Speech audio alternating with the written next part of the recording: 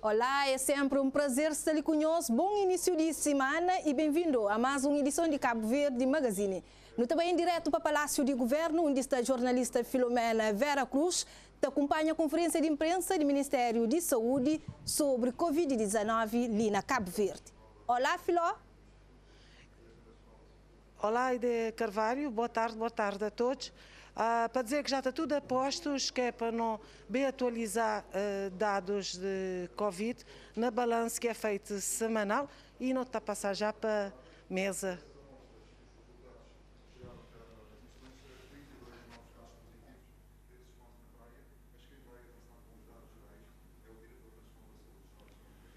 Boa tarde, boa tarde a todos e a todas.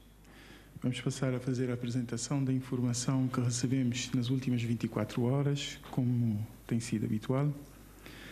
Uh, foram recebidos os resultados referentes a 312 amostras que foram analisadas nos últimos, nas últimas 24 horas, uh, entre PCR e teste rápido de antigênio.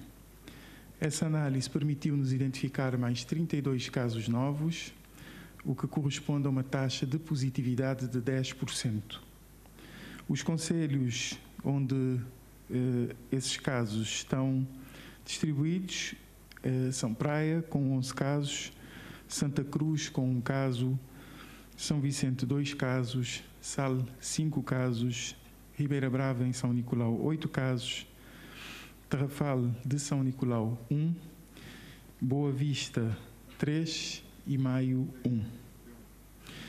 Em relação a casos suspeitos, nós recebemos a, a identificação, a notificação, digo, de três, um total de três casos suspeitos, dois no Conselho de São Miguel e um no Conselho do Sal.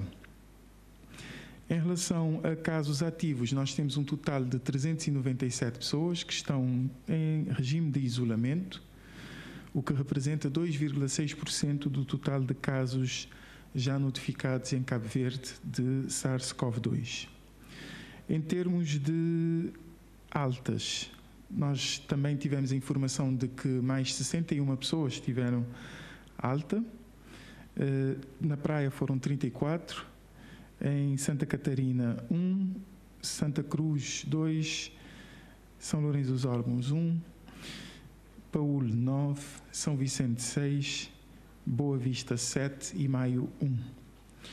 Assim, nós passamos a ter um total acumulado de 14.875 pessoas que já tiveram alta, o que representa 96,4% do total de casos já notificados em Cabo Verde deste novo coronavírus.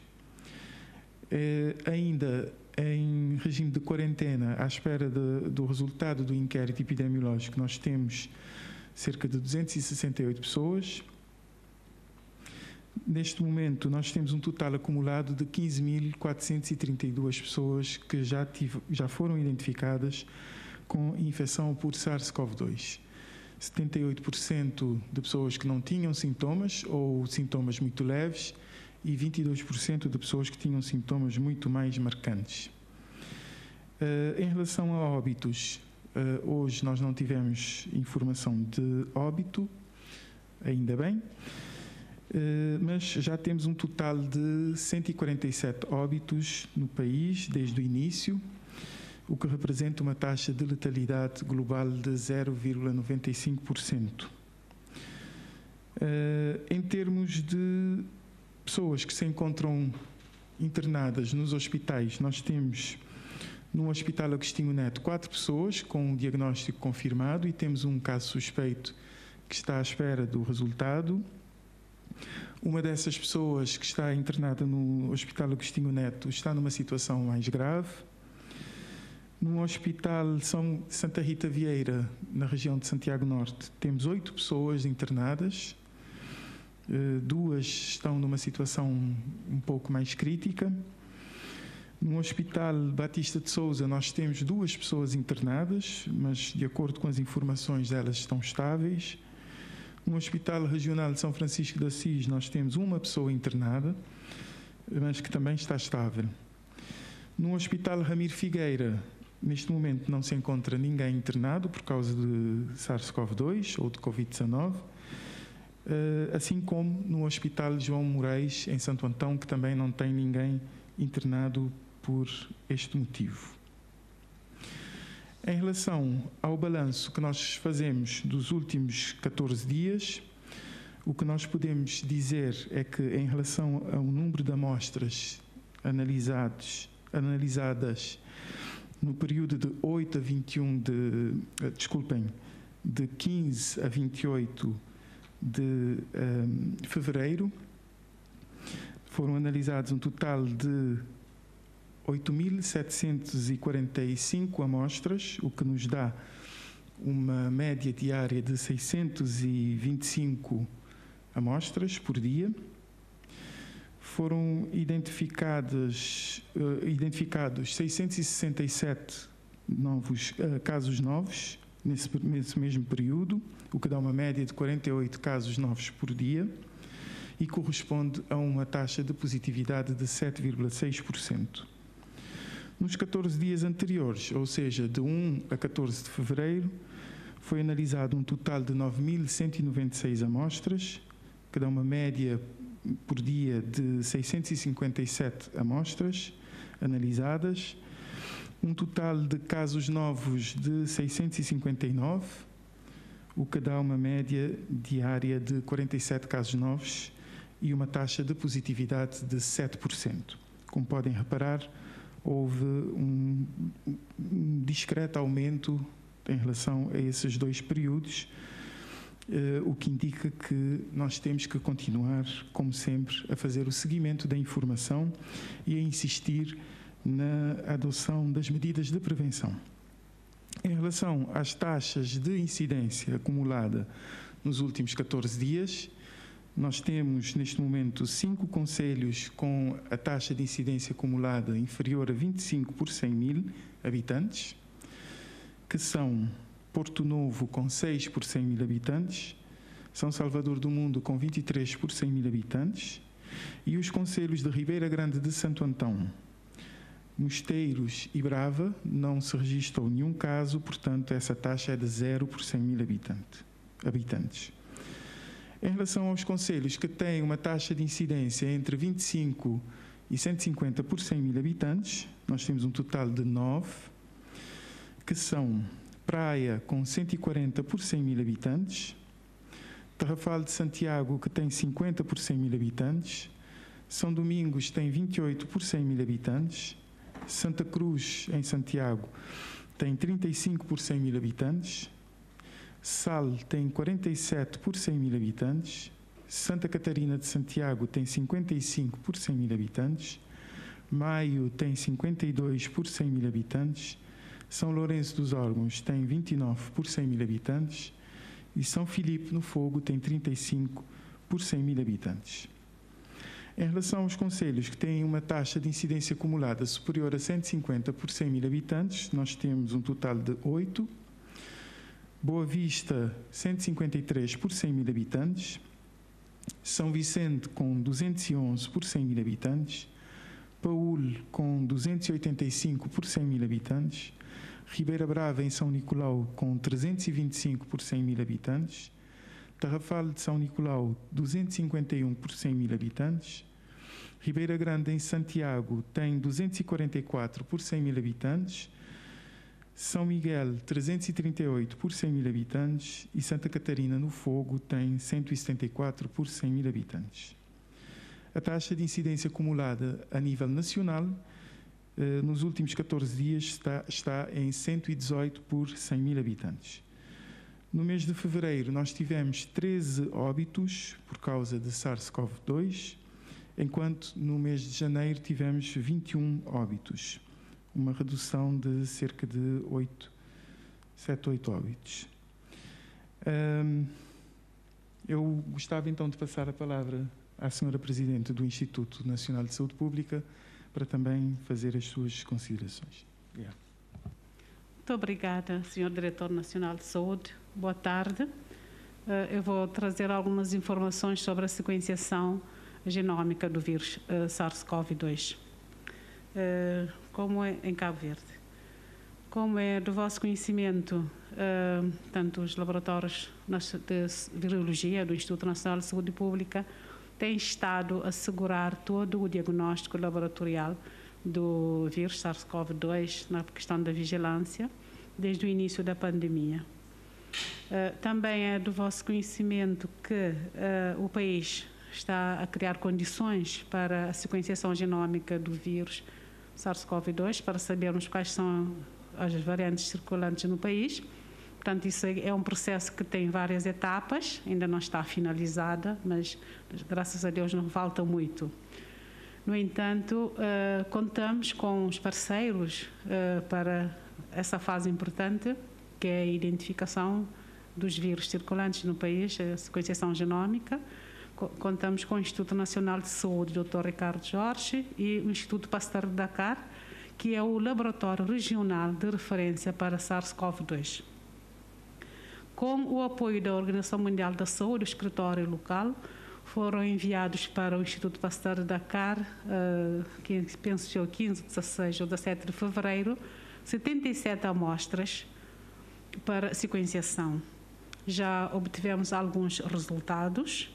Um, dos, das 77 amostras enviadas, que uh, correspondem a amostras recolhidas em todas as ilhas ativas naquele momento, tanto nas ilhas de Santiago, São Vicente, Santo Antão, Sal, Boa Vista e Fogo, uh, e correspondentes aos meses de dezembro de 2020, janeiro e fevereiro de 2021. Os, uh, das, os resultados que chegaram identificaram que a maior parte do vírus circulante no país são da Europa Ocidental, Aí, pronto, foram sequenciadas nesta primeira fase 24 amostras, as outras estão sendo sequenciadas, e dessas 24 amostras, duas dessas variantes, é, duas dessas amostras, dessas 24 amostras que, estão, que foram sequenciadas no Instituto Pasteur Dakar, duas dessas amostras eram da variante inglesa. Isso quer dizer que no país uh, circulou ou está a circular a variante inglesa do vírus SARS-CoV-2. Um, a confirmação da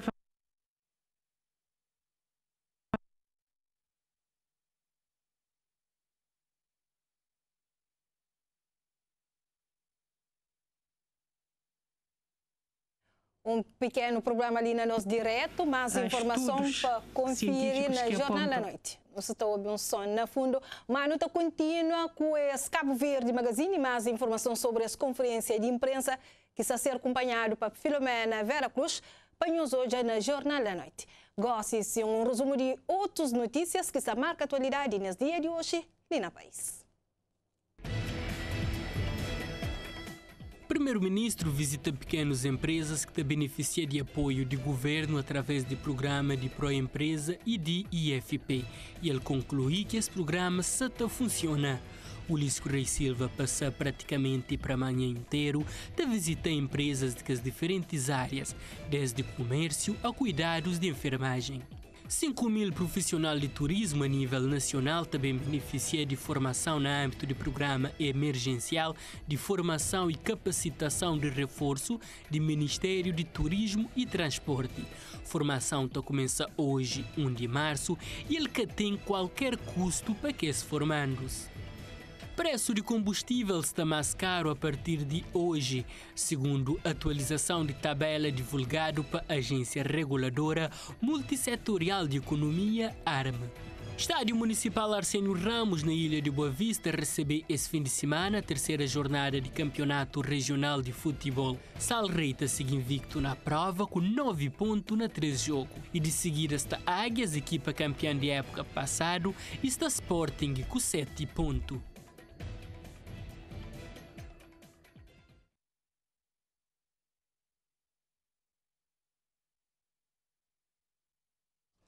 No Tatenta retoma nossa ligação em direto através de eh, Filomena Vera Cruz, que se acompanha a conferência de imprensa do Ministério de Saúde, que se está acontecendo nesse momento no Tabaitila. No Tatenta, outra vez entra em direto com Filomena Vera Cruz. Que é uma variante que tem demonstrado uma, uma uh, ser, digo, mais uh, com capacidade de transmissão maior e de provocar casos muito mais graves, nós esperávamos que por esta altura tivéssemos muito mais casos em Cabo Verde. Não, não temos tido uma diminuição da capacidade de diagnóstico, muito pelo contrário, nós temos estado a utilizar tanto o, a técnica do PCR como os testes rápidos de antigênio, que também são válidos para identificar o, o, esse, esta variante, só não nos diz que é a variante, mas serve para identificar o vírus.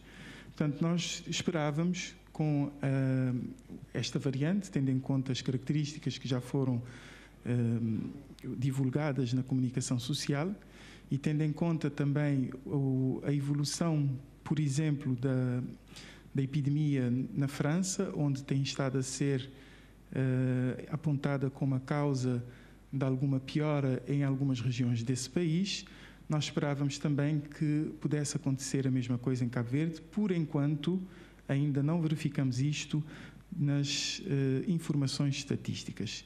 E com isso, queremos dizer que vamos continuar vigilantes.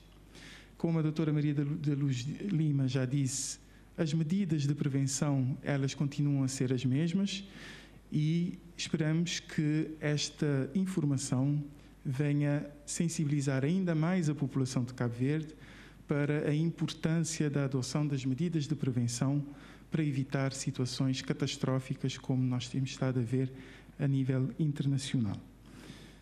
Nós gostávamos então de ficar por aqui e ouvir as vossas perguntas. Muito obrigado. Não disse a taxa de incidência acumulada a nível nacional. 118 por 100 mil nos últimos 14 dias. Nos 14 dias anteriores estava em 117 por 100 mil.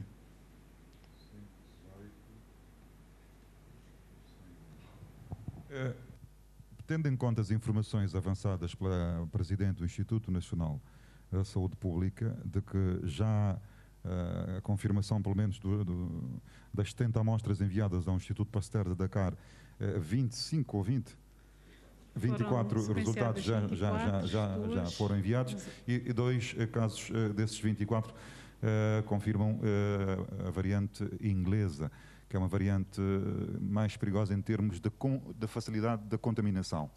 Uh, o doutor depois veio dizer que uh, até esta ainda não há dados estatísticos que apontem que essa variante esteja a criar mais problemas, mas certo é que não se sabe de um momento para o outro o que pode acontecer. Nós temos estado a notar, é, a olhos nus, é que já há um relaxamento quase que geral eh, uma boa parte da população já não usa máscara, as pessoas só têm a máscara quando vão entrar para um estabelecimento comercial, mal saem, metem no bolso, põem na barbela, põem no cotovelo. Eh, não há fiscalização das forças de segurança e militares eh, aos estabelecimentos comerciais. Nós deparamos, pessoalmente, inclusive, já abordamos responsáveis, gerentes de espaços comerciais sem máscara e funcionários uh, desses espaços comerciais uh, sem máscara, nós uh, fizemos papel de autoridades de, de saúde e policiais a contragosto desses responsáveis, mas fizemos isso por duas vezes. eu pergunto aos senhores responsáveis de saúde, o que é que que têm estado a dizer ou a passar às outras autoridades também responsáveis, no sentido de, de minimamente haver eh, fiscalização, haver rondas das forças de segurança, não tão apertadas como no início, porque eh, já se nota que de facto há um cansaço, mas não nos devemos cansar enquanto o problema não se resolver. Eh, mas certo é que há esse relaxamento, eu diria quase que geral, de cima para baixo e de baixo para cima. Qual a mensagem que os responsáveis de saúde têm estado a passar? Não só as populações, como as outras autoridades, no sentido de se exercer essa fiscalização, porque não é normal eu, como cliente, ir a um estabelecimento comercial, entrar e ver o gerente desse estabelecimento comercial sem máscara e ver dois, três funcionários sem máscara, isso depois dá aso a outras pessoas que já não querem usar máscara no, do todo, entrar para negociar sem máscara. Que mensagem é que tem estado a passar? É, é, a primeira pergunta que eu lanço aos, aos dois e depois tenho umas outras questões a colocar.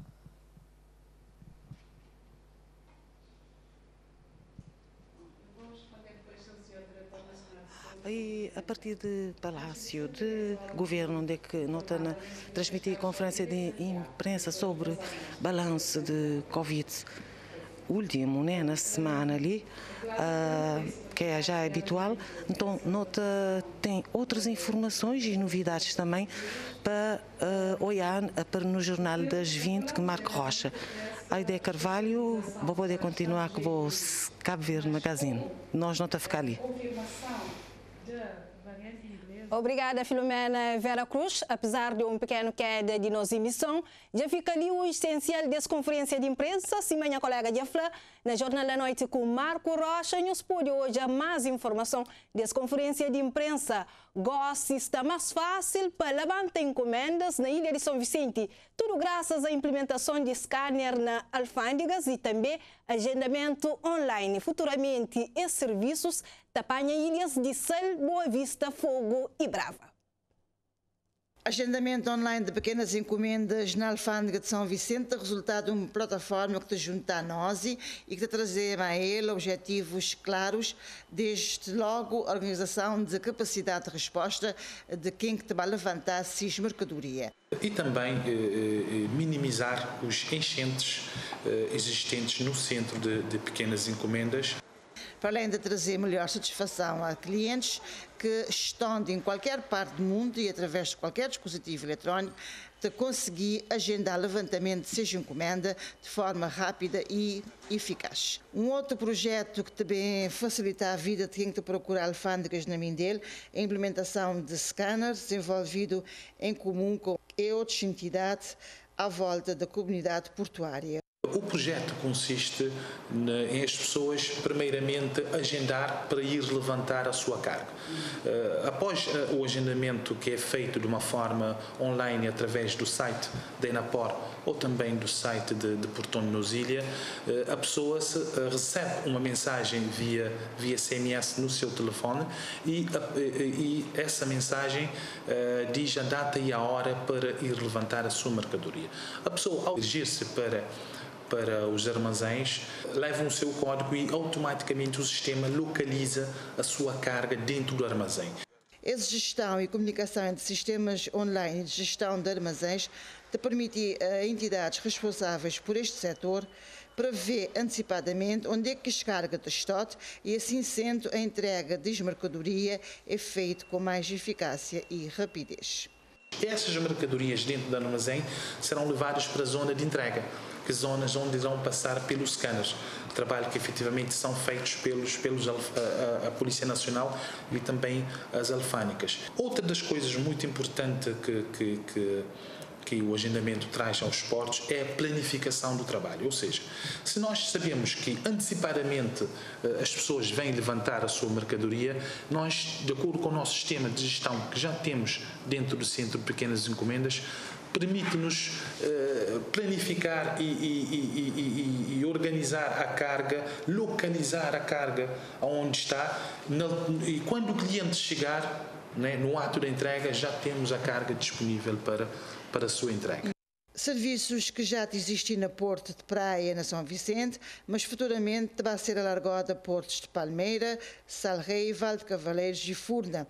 A ANAPOR, em conjunto com a outra moda alfândega está pretender no futuro próximo realizar uma análise que te permitisse ter informação sobre a reação de clientes a esse novo sistema de levantamento de pequenas encomendas e também reação de mercado. Tudo com o intuito de melhorar o sistema, indo assim de encontro à expectativa de clientes.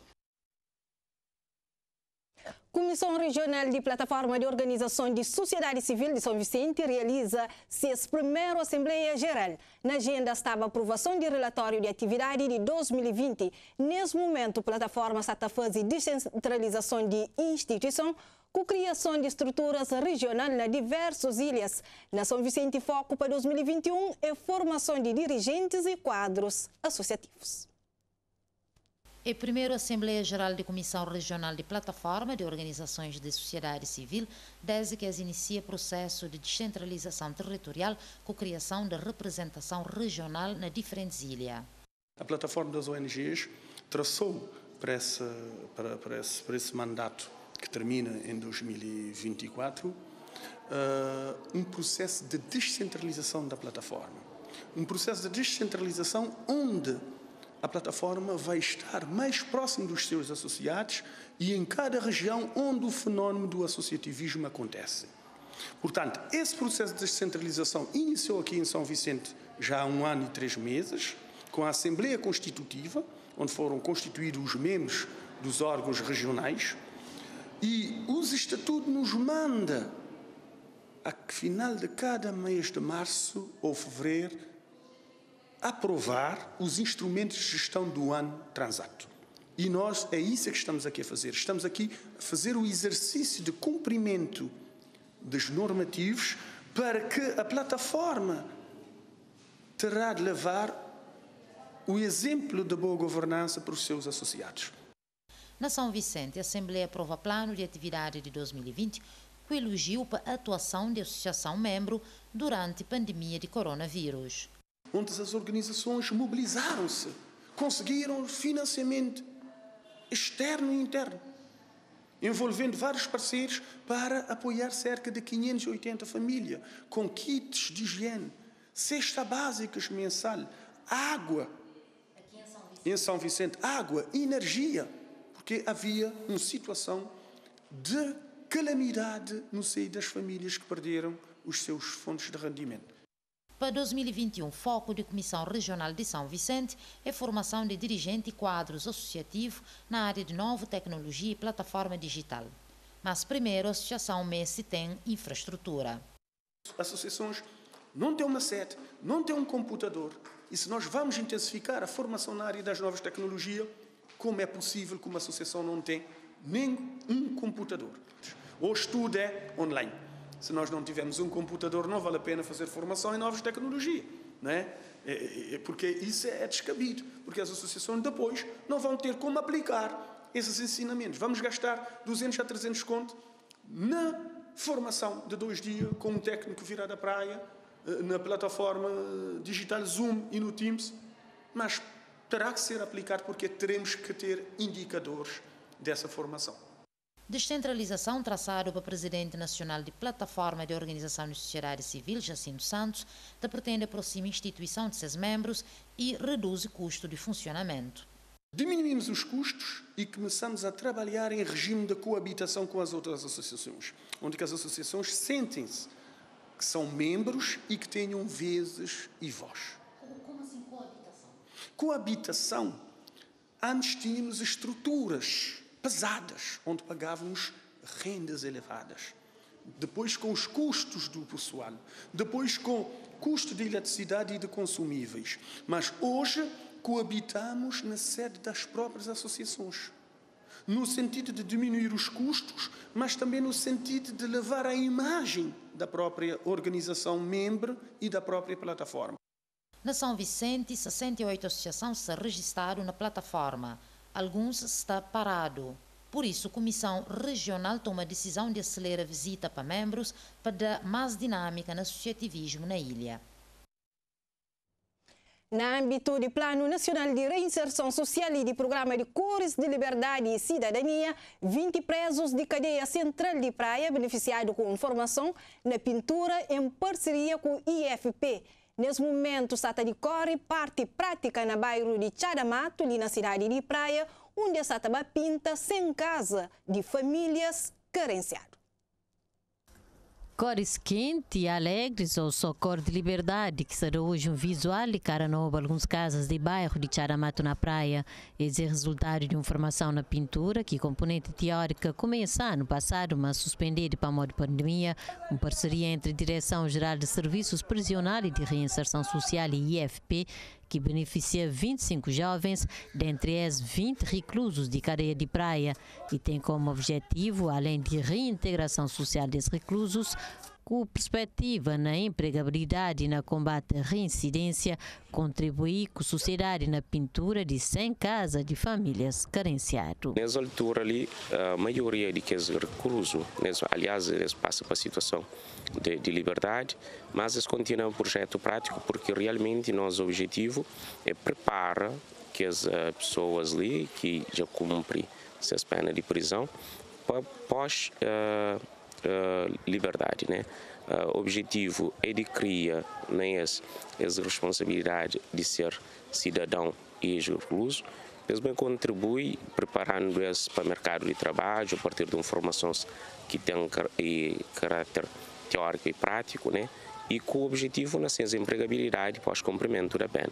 Que os reclusos estão ali, é, esta bata desenvolve suas competências, nesse momento ainda está em regime fechado. Ora que sei, essa é uma ferramenta onde que essa pode pôr seus eh, negócios e essa trabalha por conta própria. Primeiro, esse começa na cadeia mesmo, em regime fechado, lá não tinha que esse módulo transversal, que é comunicação e relação interpessoal, uh, no das um bocadinho também de empreendedorismo e gestão gestão de pequenos negócios, que também ajuda a organizar seus negócios, nos dá uma parte também de boas práticas, higiene e segurança no trabalho. Então, tudo que ele está fazendo com que esta muda seus comportamentos e suas atitudes uh, perante a sociedade. As medidas de regime aberto virado para o exterior está permitir reclusos criar hábitos de uma vida além de penas e, sobretudo, além de. Nós estamos numa comunidade onde também o objetivo é fazer com que a comunidade aceite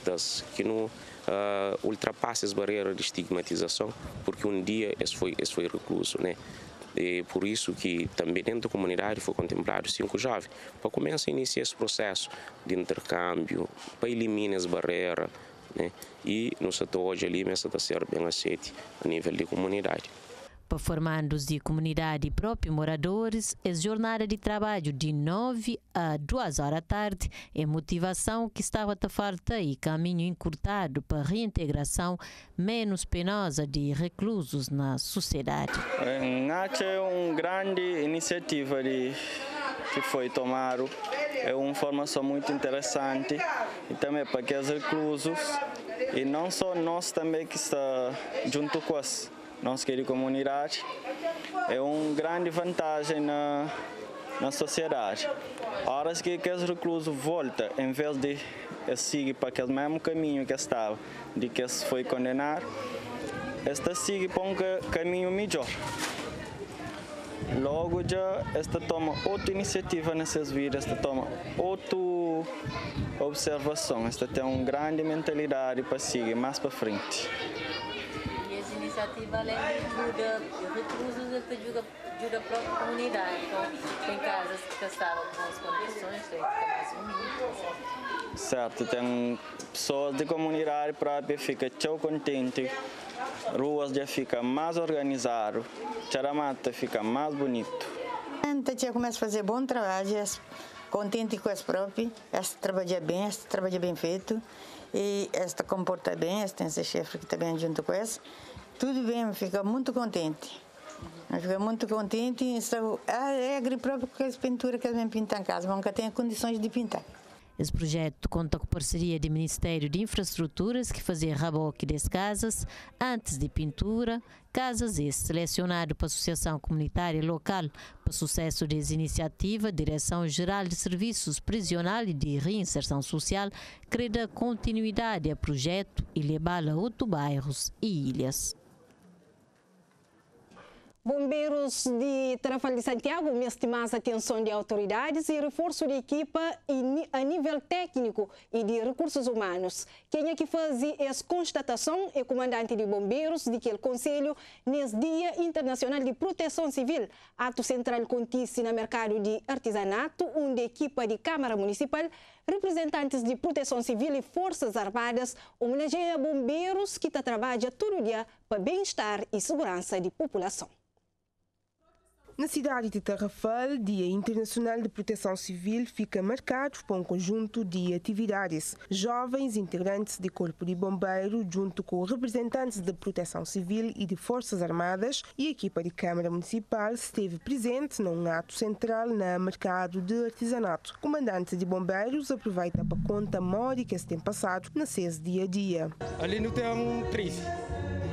13. 13 não trabalha uma equipa de 6 km 7. Um, uma equipa de trabalho de 8 a 4 horas, que ele tem folga e que ele tem outra equipe. Mano, só espera, em breve não tem um 24 horas. particular que mas que não tem aquele assim e quando está 24 horas que no que ainda nunca nunca na aquele 24 horas não está mas ter já para poder um qualquer momento que chamar para não corresponde na hora a ambulância nesse momento nunca tem está freado não tem aquele caminhão ali mas não está espera mas não estou conseguindo já já é um cara que não gosta de show não gosta de show e da hora está nele próprio para melhorar a prestação de serviço e suas performances no terreno, jovens integrantes de Corpo de Bombeiro participam durante uma semana na formação em técnicas de rapel, resgate de montanha e suporte básico de vida. Balanço é positivo. No prende coisas e, e resgata pessoas na montanha e, e formação de primeiro socorro. No prende é o tipo de coisa assim que é importante. Ué? Pô, tem pessoas que estão crê bem para morrer, mas tem trabalhadores em, em ação, eles que estão querendo fazer formação, mas foi formação é muito bom. Pode ser para nossos filhos, para familiares dentro de casa e é importante para a nossa comunidade. Alguns jovens que estão lá, moram ainda foi serviço todo verão ali. Está alguns jovens ali que estão no serviço na bombeiro, que há forma de novo. Para a mídia se capacitar quase para aquela mãe bem para poder refrescar a memória. E um prendi e teu e não na na na corda na e cabo um prendi mari que não consegui salvar alguém e e dois primeiros socorros e também empreendi de montanha. Se tiver algum alguém na perigo na montanha, jura, para ir para ajuda. Presidente da Câmara de Tarrafal garante total apoio de idilidade para melhorar condições de trabalho a nível técnico e de recursos humanos para que a Proteção Civil continue a fazer bom trabalho e garante segurança e bem-estar de tarrafalenses. Deve nós um impacto de trabalho de proteção civil e de bombeiros, ele é tamide para a humanidade, para o Estado ou compromisso que cada um de nós tem com o serviço, para o comprometimento que nós temos com a causa. É essa razão ali que está pondo gente cada vez mais orgulho desse efetivo de corpo de bombeiro municipal e que tem dado sempre combate na tudo frente, sendo verdadeiros heróis municipais. Cerimônia se estende para período de tarde, com mais atividades na agenda. Moradores de Rincon, na Conselho de Santa Catarina de Santiago, que antes botava garrafa de vidro na lixo, gostam de hoje esse material está ser apanhado e transformado na areia para construção civil. Tudo o que ele acontece graças ao projeto Raiz Azul, desenvolvido pela Associação Cabo Verdeana de Ecoturismo e financiado por Darwin Iniciativa de Reino Unido. Roberta Bandovini esteve esse fim de semana na Rincon para hoje de perto modo que se recorre esse projeto. Nesse momento, na equipa de seja alguém que está trabalha naquela máquina, já é produzir bastante areia que foi suficiente para começar a produzir uma grande quantidade de pavê que vai ser testado. Para modo objetivo com aquela areia é, é achar uma forma de vender, uma saída para aquele produto não é, ser realizado. Para modo objetivo principal é hoje, diminuir aquela poluição de vidro, mas ao mesmo tempo, então nesse momento não está naquela fase de avaliação para a que aquela areia produzida pode ser bem utilizada na construção civil ou não está aberto se alguém tem qualquer proposta de que pode ser utilizado, o centro está sempre aberto, a pessoa pode entrar em contato conosco, mas faz a senhora Débora, pode bem visitar centro e hoje é aqui, aqui no trabalho. Ex-representante da Associação de Ecoturismo da Flama, projeto em si que tem engloba só reciclagem. Esta serve também para ajudar membros vulneráveis, especialmente mulheres que antes faziam apanha de areia. Como Rincon ainda é a única comunidade onde tem bastante apanha de areia, não está espera, mas ajuda também a reduzir aquele um, aquela situação também. O objetivo principal é reduzir aquele impacto de lixo e, no ambiente e através de que lá tenta criar alguma forma de, de rendimento para a família mais vulnerável daquela comunidade. Nesse momento nós está no segundo ano de implementação do projeto. No primeiro ano foi feita uma avaliação no estudo de resíduos nas quatro comunidades onde não tem projeto e ali na Rincon foi individuado uma quantidade mais grande de vidro. Débora Carvalho é uma voluntária que engaja no projeto e faz uma campanha na Facebook onde que pede amigos e conhecidos para arranjar garrafa de vidro.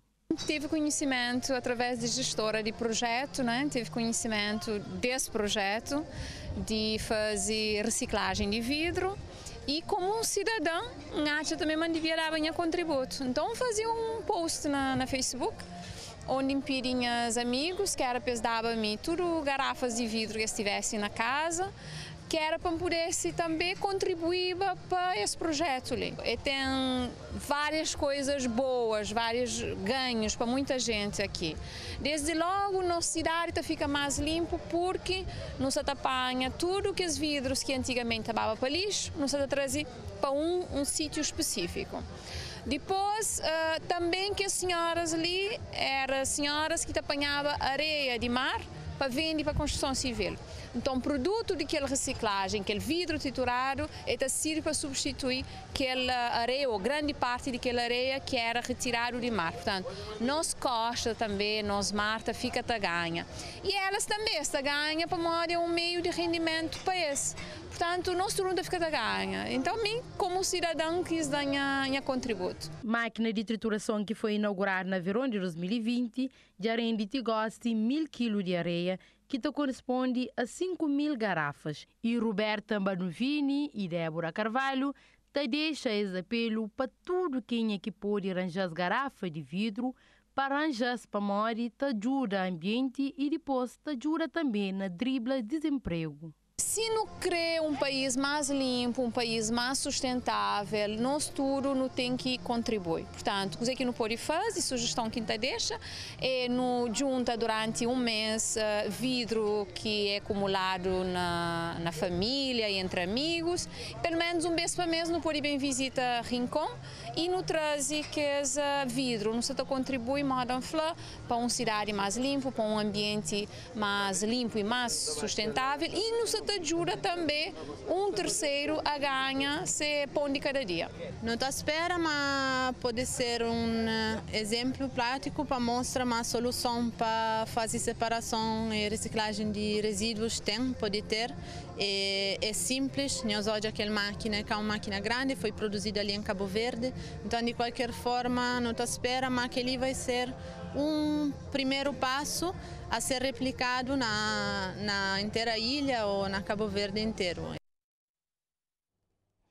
20 empreendedoras rurais de Santo Antão está a receber informação na manipulação de alimentos com o objetivo de prestar serviço de restauração a turistas que visitam a Ilha das Montanhas, que ele é considerado um projeto inovador, promovido e financiado por uma organização holandesa. Formação é ministrado para a Associação de Guias Profissionais de Turismo de Santo Antão. A primeira ação de formação em manipulação de alimentos teve lugar durante dois dias na Centro de Transformação de Afonso Martim, na Ribeira Grande, e foi destinado a 10 mulheres daquele conselho, cujo rendimento também de turismo rural. A ideia é capacitar estes empreendedoras rurais na arte de preparar e servir refeições saudáveis a turistas. Essa formação tem como base uh, comida saudável, comida vegetariana, segurança na Covid-19, maneira que a senhora tiver receber que os turistas, depois que, que começar a tornar bem, Então, é uma coisa muito importante, é um projeto que já não tinha na nossa agenda da Associação de Guia a Guisa, que uma associação não abria agora, já não tinha na agenda, mas grinha assim, como bem parecer esse apoio, esse patrocínio da Holanda, não bem petar a ele, não bem fazer que é para poder garantir, senhora, também um paquete alimentar que estive, que era um paquete de comida saudável, cada um levar para suas casas aonde, aonde nos dá um bocado de teoria, vamos explicar seu coisa sobre comida saudável e também sobre a organização, porque é coisa que a ti cabe ali. Resirest é uma organização é que trazer turistas individuais, então está, tem uma plataforma na internet, onde é que a senhora de ficar tudo inscrito, já fazer inscrição, tudo a senhora ali, e esse ali é o primeiro passo, porque depois, agora, no futuro, está a ficar de receber que os turistas diretamente também, sem guias. Que os participantes na formação de dois dias é mulher empreendedoras, já que alguma experiência no turismo rural, isto acreditar que está mais bem preparado para acolher turistas que te visitar, seja comunidade. Foi muito importante que a gente conheça uma coisa melhor, a gente aprende a fazer comida vegetariana. E a nossa formadora também é uma formadora espetacular, seu nome é Reti. E é muito agradecido. E você é daquelas pessoas também que, por exemplo, poder um, faz, uh, confeccionar alguma uh, refeição para turistas, né? Sim, me entendo, a gente trabalha no turismo agora de São Pedro, um turista de montanha, mas um turista sensacional. Bom que é, que começa a ideia Estamos a saber que me recebe um turista vegetariano. Estou a trabalhar com turistas já há seis anos, uh, que vegetariano, uh, sou de turismo francês, tudo. Uh, muito agradecer a Dona Reti ter nos convidado para fazer formação que cada vez não vai aprender mais. Muito contente, empenhar muito prática, que a gente tem muita gente hoje é, é que comem carne e peixe, outras coisas, é muito, muito feliz que aprender muito prática, como estava que falta. Uma formação promovida por uma organização holandesa denominada Resirest é ministrado para a Associação de Guias Profissional de Turismo de Santo Antão. Nos próximos dias está a ser vez do Conselho de Paúl que seis participantes e Porto Novo que quatro participantes. Não está fazendo um intervalo, não está volta já com informação sobre festa de São Felipe na Jarfogo. Até já. Olá, mais um vez bem-vindo à segunda parte de Cabo Verde Magazine. Que as principais instituições envolvidas na realização de festa de São Felipe na Ilha de Fogo, junto com autoridades de saúde, realiza na fim de semana uma reunião para analisar possibilidade de que deixa as data passe em branco. Na fim de encontro fica decidido, mas ano que tem festa naquelas condições, moda era um mês. Gosta apenas três dias com pouca atividade, mas que junta, tchau algão. Na reunião estava a Câmara Municipal de São Felipe, Polícia Nacional, autoridades de saúde na ilha, acima a Delegacia de Saúde de São Felipe e diretor da região sanitária, Casa das Bandeiras e Igreja Católica. Riba mesa estava Festa de São Felipe Exano. Na 2020, pandemia que permitiu realização de festa, fazer apenas um missa no dia 1 de maio e com muito pouco alguém. Esse ano, Covid-19, também que se deixa fazer aquele festa beijo que todo cabo-verdiano está acostumado. Porta-voz de encontro Henrique Pires, flama saúde pública está acima de tudo. Não teve tudo mesmo posição. Uh, esse ano, não te chama, ainda nunca tem condições de fazer grandes festas, porque está pensa, mas saúde é primeiro do que festa. Mas de qualquer forma, Festa São Felipe é uma festa que tem nome e que nunca poder deixar de fazer nada. Portanto, tudo que aglomeração de pessoas que tem. E que tem pilão, que tem corrida a cavalo, que tem futebol, uh, que tem grande almoço de São Filipe. Mas, no entretanto, na almoço, fica decidido uma deve fazer de um almoço para tamboreiros e coladeiras, que é um é, é, é, é mais ou menos 30 ou 40 pessoas com que as pessoas que estão lá também estão trabalhando, que estão naquele almoço, a missa, nos está preparar para a procissão, se aquele trabalho que está na ele, uh, para onde é que a procissão está passar na altura é que está estragado, não está a fazer procissão também. Restaurante já tem uma determinação de quantas pessoas que podem estar no restaurante, mas esse restaurante, com seu funcionamento, podem ter música. Festa não crê, em princípio, pelo ser três dias, só três dias. E 29, 30 e 1 esteiro de 2020 capa essa bandeira e fica acordado, mas ele está manteve até 2021.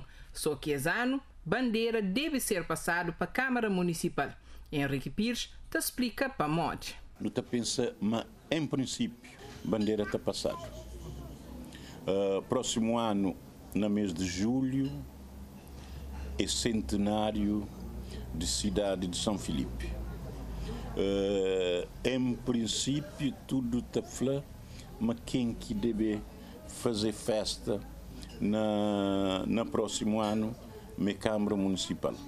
Mas ainda que tem uma decisão certo, mas esta vai ser Câmara a fazer, mas tudo te indica que deve ser Câmara a fazer festa junto com o centenário, centenário de cidade. Centenário é que todo dia que Butatel, nós toque do aquele um lá, e creio que nós neto, nós bisneto, que é que também passou. Passagem não está fazer na, em princípio fazer lá na Casa Bandeira, porque bem para, bem para Alto São Pedro não se chama pessoas. E no DB evita chama pessoas para juntar para porque é, é, perigoso. Mas já está acordado, mas antes de início de festa esse ano, grupo deve tornar reunir para analisar principalmente situação sanitária. Para modo tudo também depende de números de Covid na ilha. Está também marcado para esse fim de semana uma reunião entre Câmara e proprietários de cavalos é que desde fim de 2019 que fazer nenhum corrida e proprietários e amantes de hipismo está tudo preocupado com a situação. Adalberto Silva, ou simplesmente Beto, compositor de Ilha de Maio, homenageado na noite de sexta-feira no Centro Cultural de Mindelo. Esse espetáculo é iniciativa do Centro Cultural e está fazendo parte de um conjunto de espetáculos que se chama de grandes concertos. Constantino Cardoso e Jennifer Solidar foi artista escolhido para interpretar alguns de que as composições de Beto. Durante uma hora e meia, Jennifer Solidade e Constantino Cardoso dá-se voz de alguns trabalhos mais marcantes de extensa obra de compositor Betu no espetáculo Grandes Concertos de Centro Cultural de Mindelo, mesmo longe, através de redes sociais de Alberto Silva ou simplesmente Betu, partilhasse a satisfação em ser escolhido nessa primeira edição.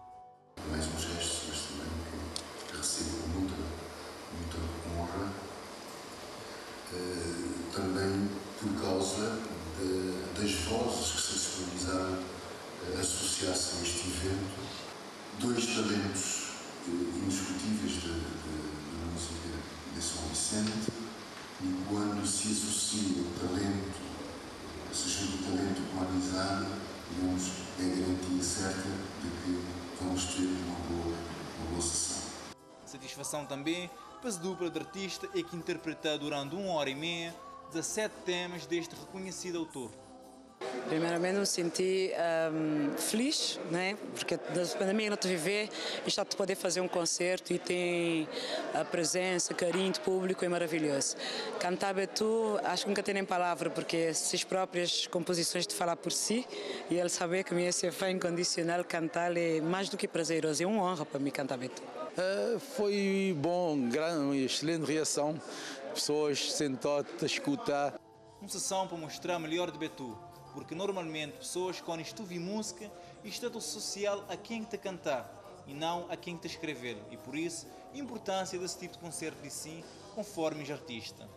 Pessoas que ouvem cantores poucas pessoas têm, têm aquela curiosidade de, de saber, têm aquele conhecimento, quem está escrever realmente e quem está fazer aquela, aquela composição.